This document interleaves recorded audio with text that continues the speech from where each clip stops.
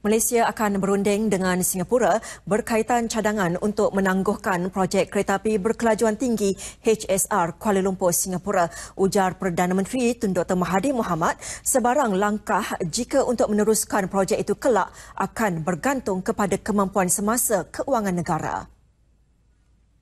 Tambah Tun Dr. Mahathir tidak dapat dinafikan Malaysia tidak mempunyai dana untuk membayar pampasan yang besar kepada Singapura sekiranya projek HSR itu dibatalkan.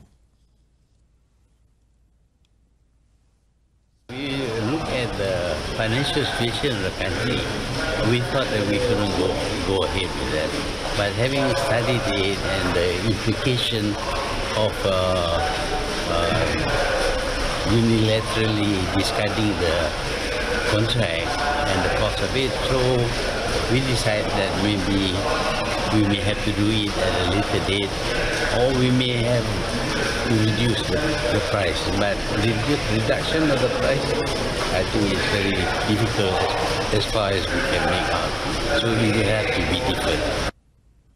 Semalam Menteri Hal Ehwal Ekonomi Datuk Seri Muhammad Azmin Ali menyatakan beliau akan mewakili kerajaan ke Singapura pada akhir bulan ini bagi menghadiri mesyuarat berhubung cadangan penangguhan projek HSR itu. Projek HSR akan bermula dari stesen bandar Malaysia dan berakhir di stesen Jurong East di Singapura.